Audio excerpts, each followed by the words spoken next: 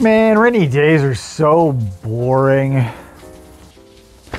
Well, Dave, you could play a board game. I played all those yesterday. I want something else. Well, old boy, you could listen to some records on the hi fi. Hi fi, more like lo fi. I want something fun. Oh, fun, dear boy. Why don't you look at some uh, Viewmaster reels from back in time? Uh, I looked at those a hundred times already. I want something else. Ah. Well then, perhaps we should be watching a movie. A movie for Raiders of the Lost Genre.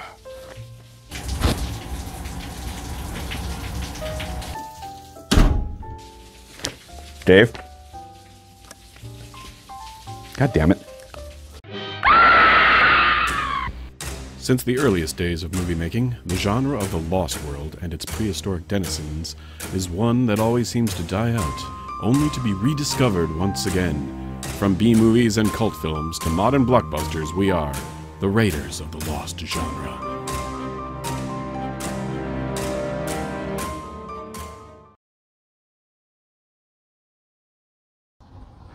Hey, Dave. Hey man, what's up? I'm glad to welcome you to our show, Raiders of the Lost Genre. Why am I speaking in a old-timey 1950s announcer type voice? Because you took some pills you found in the street. Why, how'd you get? No, that's not true. It's because we're watching The Black Scorpion from the 1950s. Okay. Yes, uh, I'm looking for a year. I don't. Anyway, it's it's it's from 1957. that year that I just said. 1950 something. That's the one. So yes, uh, this is uh, the Black Scorpion, uh, with uh, among others 1950s uh, B scream queen Mara Corday, who, yeah, and uh, it has uh, visual effects by the world famous, well, overseen by the world famous Willis O'Brien, who did the original 1933 Right, he, Kong. he is a reestablished character over and over on this show, so it's Kinda. nice to see him back. Yeah, That's right. It's great to be back, Dave. So it's it's like obviously black and white. We're looking at giant monster run amok. Essentially, yes. Um, it, it is a prehistoric beast released by volcanic released by volcanic activity from the east, from the bowels of the earth. from the bowels. Uh, so here's my the only question I ever have when it comes to giant monster movies. Sure. Colorized black and white, no matter what. right. Can it trump giant grasshoppers and Peter Graves? Nothing trumps Peter Graves, but it does trump giant grasshoppers. I, I will admit it does that. It's not as good as giant ants, but it is better than giant grasshoppers. But the the Graves of it all. Let's go.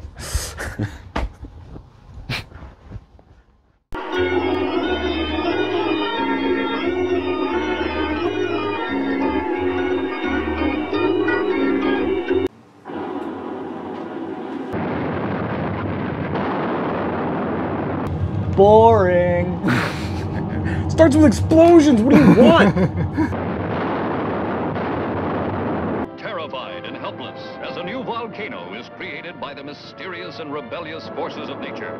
Ooh, those rebellious forces. Don't you hate it when the Earth rebels against humanity? Yeah, I tell them again and again. Mystery Science Theater 3000 is one of my favorite TV shows over the years, with its unique way of riffing bad movies. Black Scorpion is better than a lot of the fare that the series has tackled over the decades, but it's still just a 1957 monster schlock flick underneath it all. But it's got some interesting talent involved that makes it stronger than much of the irradiated monster and giant insect pictures that were the rage at the drive ins at the time. Supervisor of special effects Willis O'Brien. Doesn't mean he really did all of them. He just name- supervised them. If your last name is Peterson, let's go easy on the first name being Peter, right? I'm not certain MST3K was my introduction to Black Scorpion, but in any case, the unfiltered version has a special place in my DVD library. Wow! Oh shit! Titles came out of the lava! Edward Ludwig directed this film. Von Directhoven. A volcano explodes into being not far from Mexico City, and geologists Hank Scott and Arturo Ramos arrive near the village of San Lorenzo to investigate. The telephone lines are down since the earthquake. Thanks a lot. See you later. I hope that this guy's also a he's a mystic. They didn't come back. so- Cursed. Alright, back to it. Take it easy. That's not the only thing that's being telephoned in on this movie. Hello, do you read me? 511, I read you, Sergeant Vega. Is that isn't that the, the voice of Robot from Yeah. Lost in Space? Robot does not understand why you do not have Sergeant Vega with you. danger, danger. They find a smashed police car near a wrecked house, but none of this destruction seems to have been caused by the eruption. Look out, Dave.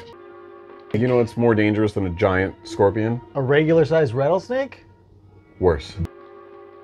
A small rattlesnake? Close. You gotta beware of baby rattlers. Pow! That rattlesnake is the worst kind of them all. Oh, it's an abandoned child. Isn't that quaint? Gun control by Ed Wood again. Yeah.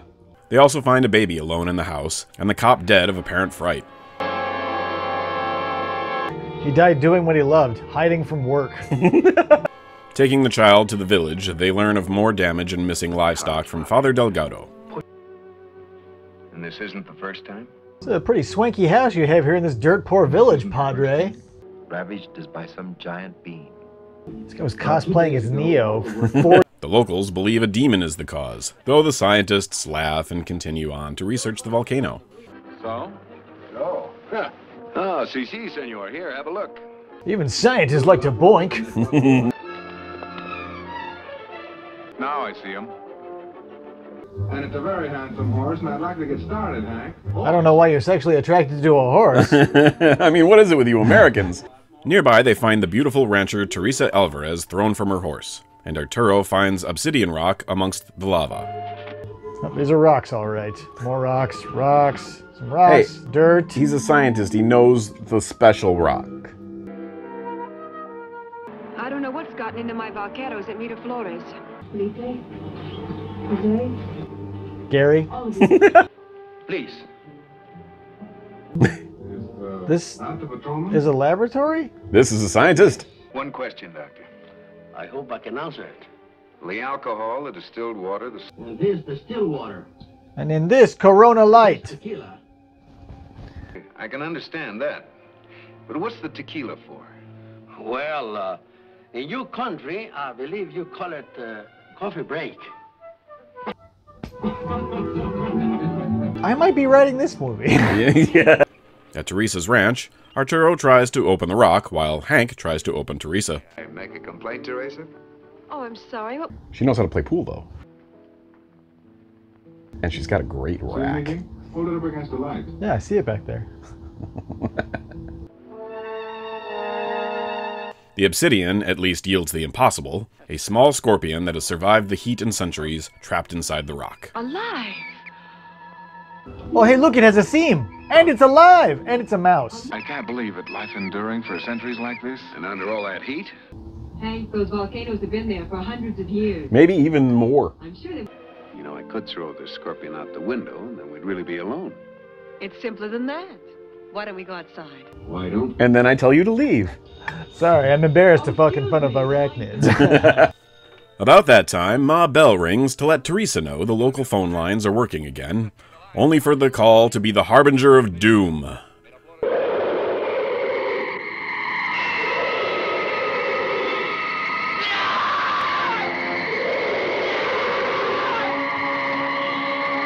Oh, he turned ah, that's ooh. You know, it's hard to walk away from that. I was worried that it would not be worth the wait. The telephone workers can be heard dying, attacked by a gigantic scorpion. Ugh.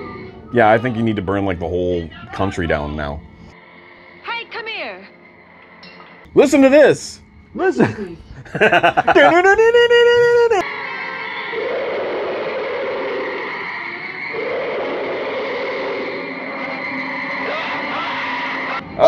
Oh, no! hey, blood! Might be chocolate syrup. You might have been having chocolate milk. Well, you were complaining about the complete lack of blood before, and there it is. So it's Good. It's good. The cattle are also stirred up, and the ranchers and heroes flee in terror from one more of the giants. The crying. The crying of the cows. the silence of the cows. Fortunately, the creatures only roam at night, so the next day the geologists and the army try to find the point of origin of this creature feature. Ew. Where is the scorpion getting so much mucus? Bad allergies.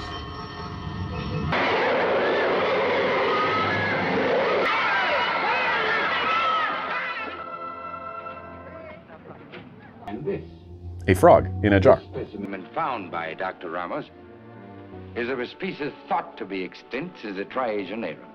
Try what? We have noted in the past, Try Asian. Triasian? That's not an era. They find it in the form of a huge fissure near the volcano that one of the explorers falls into. It is a giant hole in the ground. Oh, there he goes. I think you did write this.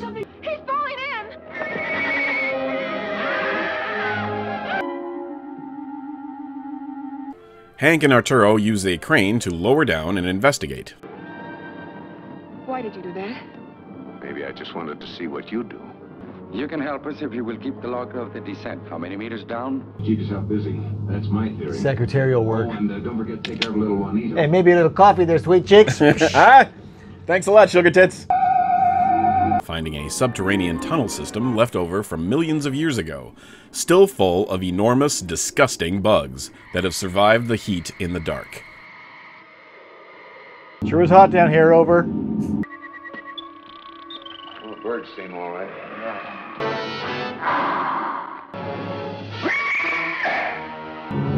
That's one of the Dark Lords from Howard the Duck. Must be a nest ball. Oh, whoa. Yeah, that's bad. right. Conga line of scorpions. Dun, dun, dun, dun, dun, dun. Yeah, try the gun. That always works. I mean, you're pretty much fucked, so do whatever you want at this point, right? Doesn't even penetrate it. What? Maybe try asking it out to dinner first.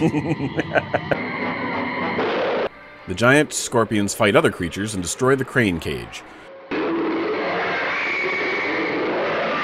Oh, damn! Fight, fight! Yeah!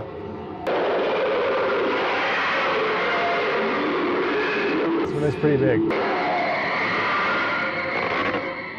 That's how they kill each other. That weak spot in the throat. Right in the solar plexus. Fortunately, local boy Juanito, who had stowed away, by that time had started looking for his American friend, though he is nearly devoured by a trapdoor spider instead. Round. You ever hear of a trapdoor spider? You have now.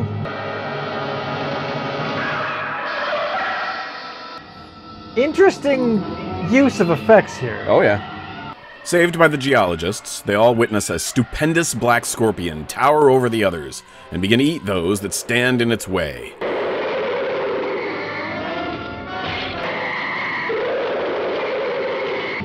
Those are cage, gas tanks, everything. But why? Why does the scorpion care? Do they hate rectangles? Don't you? Triangle Man is where it's at. Our heroes barely escape the pit with their lives, and the army uses dynamite to close the fissure, hopefully sealing off the Lost World's monsters. Let it go.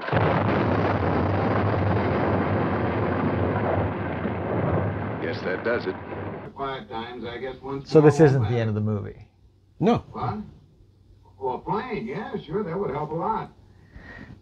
Oh, uh, Dr. Oh, but even if we do have what? A day, two days? I don't want to settle for just two days, Hank. Maybe three, but not two. Right now. Denied. All seems well, so Hank tries to romance Teresa, and the village tries to recover. Dr. Scott? Yes? I am Victor Steven. Right away, but Dave, you need a hat like that. I might. I meant the one she was wearing. Oh, I know. But the Mexican army finds a dead scorpion and calls our protagonists back, in the hopes of defeating the monsters before they can emerge. There it is. The University of Matte painting. Yes, I've heard it. Of course, there's always a possible danger again. I'm in charge of an aerial mapping project for our government. Whose government? You don't even have an accent. I was born in Mexico City. Now, please, if you'll take a look at this graph, I work for Oh, the government. golly. Gomero Pile. Hank, what's the meeting on Friday about? nothing, nothing. Scorpions, nothing. And then when we come back, we won't have a worry in the world. Too late. The scorpions dig free that night and overturn a train, eating the passengers.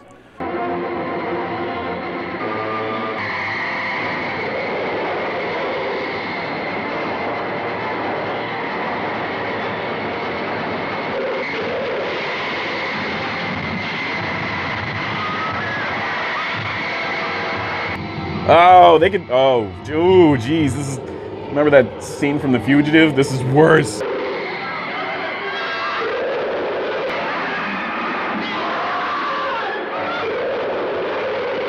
Oh my god, they're gonna eat them like cocktail onions. The good news is that the smorgasbord incites a bloodlust wherein the black scorpion kills all the others. The bad news is that it next heads for Mexico City.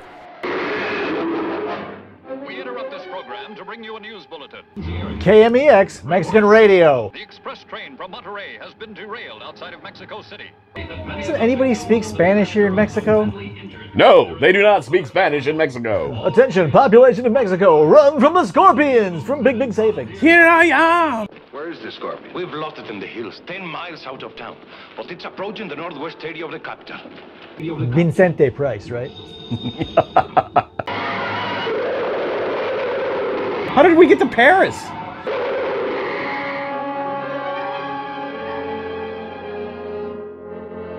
The one day without a soccer game. The army uses a truckload of cattle meat to draw the beast to the stadium, where they engage it in battle. The, the shot establishes they called the army, the Salvation Army, and a guy who owned a bulldozer. Remember the white area on the throat. What is a throat? There it is. The Scorpion trashes troops, tanks, tractors, and even helicopters before the geologists finally shoot an electric tether into its weak point and send it into convulsions. You missed! I won't miss this time. Here, just grab the.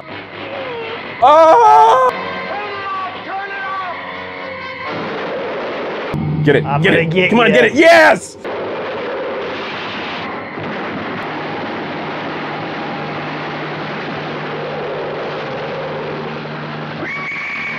I didn't think a scorpion could look surprised.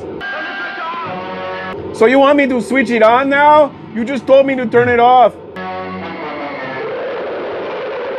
Dead at last, the drooling monster falls silent. Now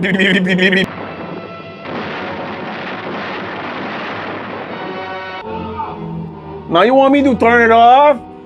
Make up your damn mind.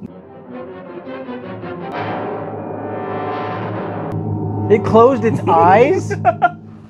If we could all meet tomorrow at my laboratory for a recapitulation, Hank. Gonna go have sex now. One week later, they had a celebratory soccer game, and the rest of the town was destroyed. The film starred Richard Denning, who gives a cheesy stock turn in this monster movie that slogs through 1950s style dialogue in between the monster bits. He gave a better performance in Creature from the Black Lagoon and a few other notable sci fi and drama movies and TV shows over the years. I'm not saying anything. Hasta la bye bye. His love interest was Mara Corday, busty pinup girl, playboy playmate, TV actress, and co star of schlocktastic flicks like Tarantula and The Giant Claw. You don't have to go away, and that volcano can wait.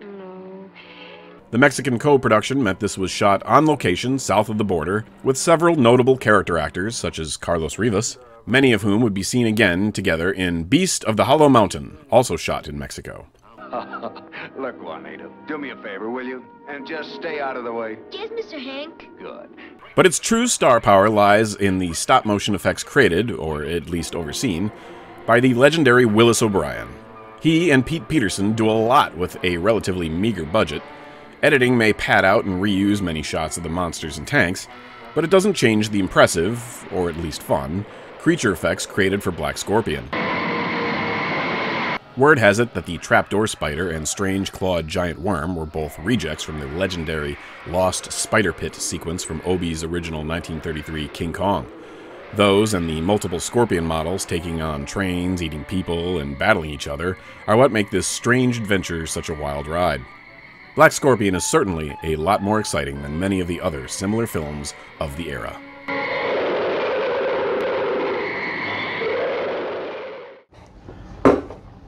And welcome back to Oh, Raiders of the Lost Genre with your hosts, Doc and Dave. Drew, what is this called? The Black Scorpion. The Black Scorpion. They Now- only say it like 10 times in the movie. This is the one movie I came to. I said, you know what, Dave? Let's stop expecting things Mm. because that always ends up in failure. So I didn't expect anything. You hadn't even seen the MST3K episode of it? Negative. Really? This is my first time ever. See, I, I totally just went into this assuming that you had at least seen the, the Misty episode. Negative. Wow. This, I didn't even know this movie existed until I I, saw it on I took your table. Black Scorpion virginity today. It was surprisingly good. I'm glad you enjoyed it. Uh, You, I think the movie or me taking your virginity? Uh, both. Yeah, okay, good. Surprising in both accounts.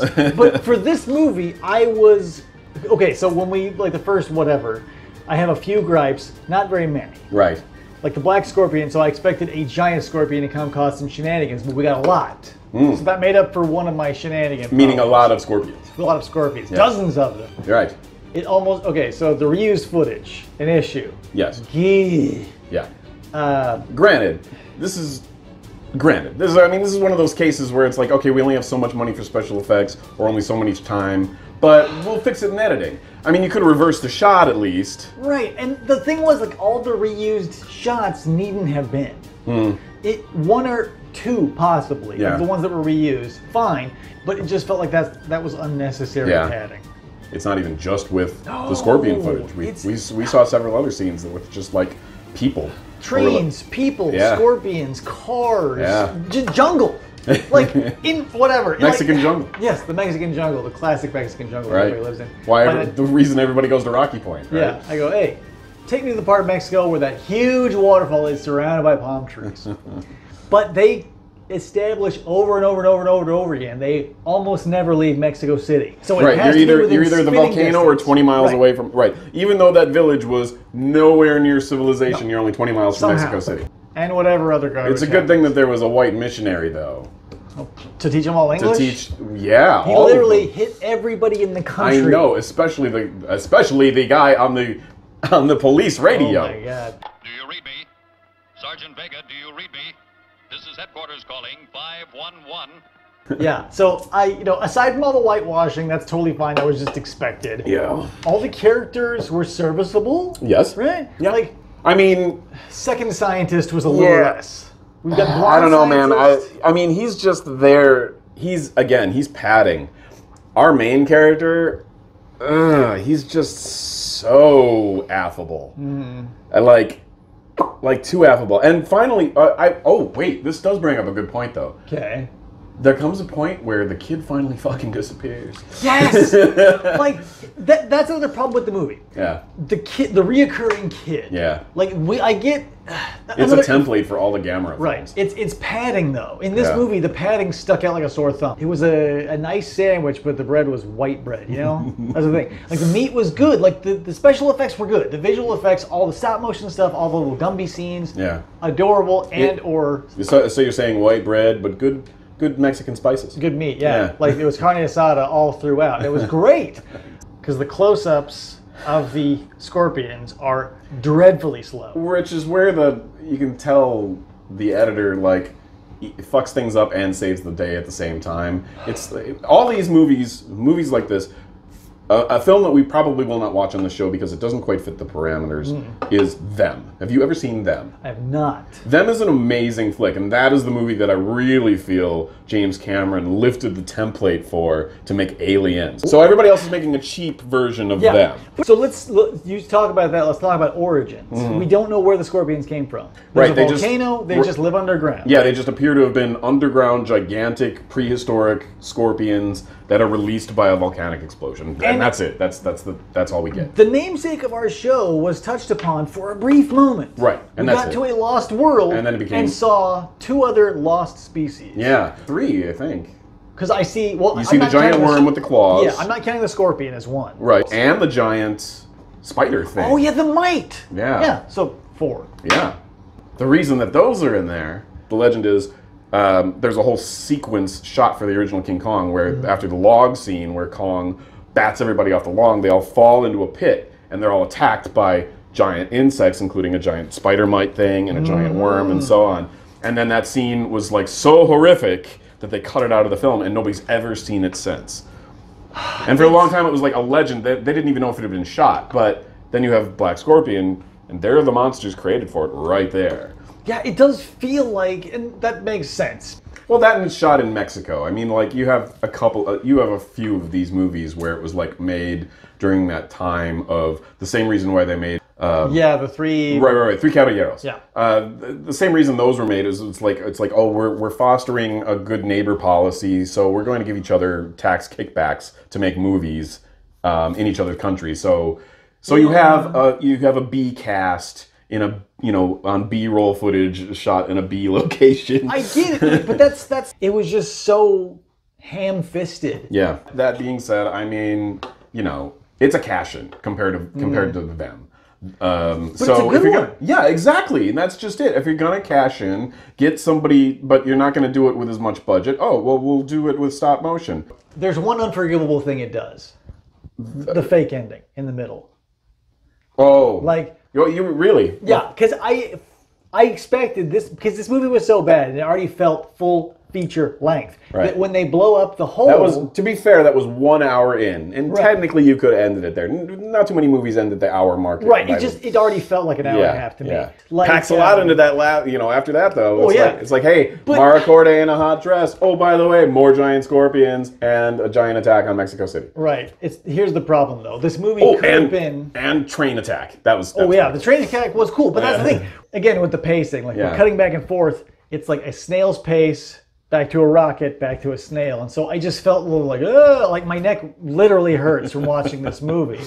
But now that you know, are you gonna feel the same way about it when you watch it the second time and you're like, Probably not. right? And your wife's sitting there and she's like, oh, that's it, and you're gonna be like, no, oh no. Yeah, you have to watch it again and forget about all the parts that suck. Still, still better than you know.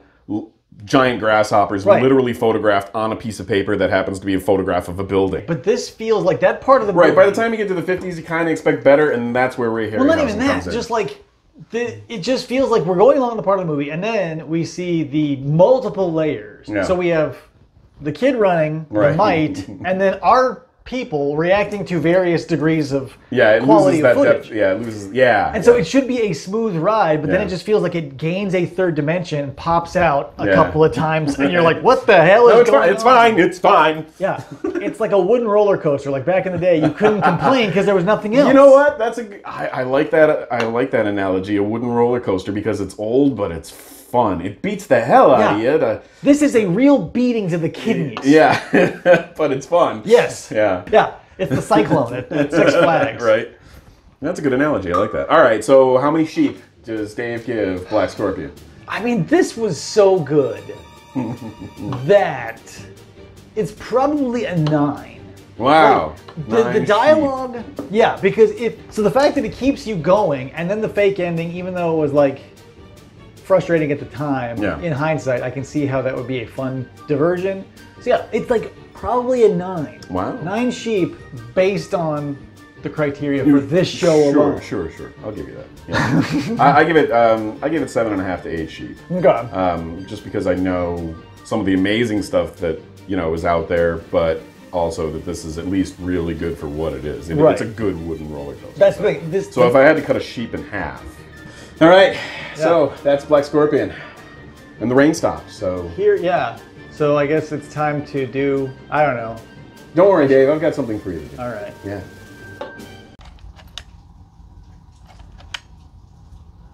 You're right, Scott. This was a way better idea.